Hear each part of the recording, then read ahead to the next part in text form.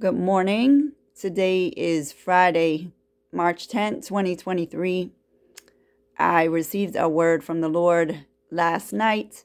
I want to encourage all of you to test the Spirit, to get into your prayer closet or onto your knees after this message and seek the Lord with your whole heart to either receive instruction from Him, correction from Him, rebuke from Him, counsel from Him, guidance from Him. But most of all, I want you to ask for discernment and let Him know which words um, you're paying attention to that are of Him and are not of Him. Okay, I don't expect you to take my word from it for it. I want you to take it back to the Lord in prayer and also go into his word because that is where he's going to truly speak to you is through his word. So meditate on the scripture and he will make it plain what words are from him and what words are not. The Lord said to me yesterday, The shaking of many nations has begun.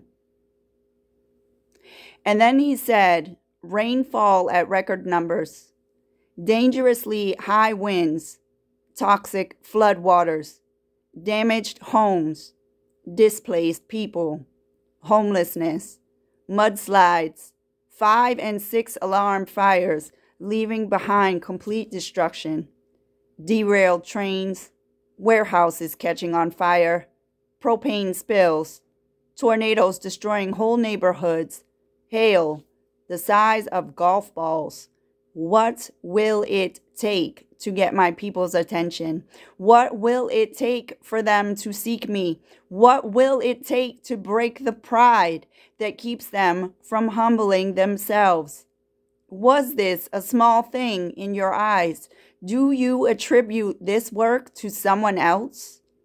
This is all the work of my hand. What happened in Brazil was a warning. Nothing compared to what I will do if they don't repent for participating in such a blasphemous abomination, a parade glorifying Satan. Did you think I would overlook such blatant disrespect, such mockery, who is it that you mock? Will you laugh when I make your country a desolation, a wasteland, a shadow of its former self? Will you mock me then? Even after all this, you are unmoved. Your hearts have turned to stone. Have you no compassion? What am I to do with such a people?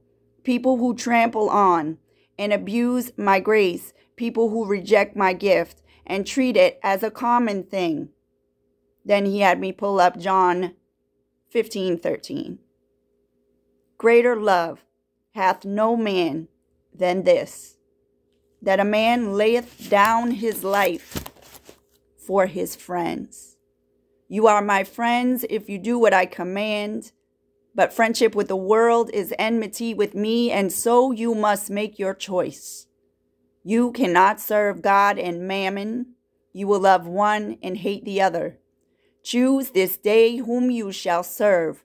The road to hell is broad and many are on it, but the road to eternal life is narrow and few find it.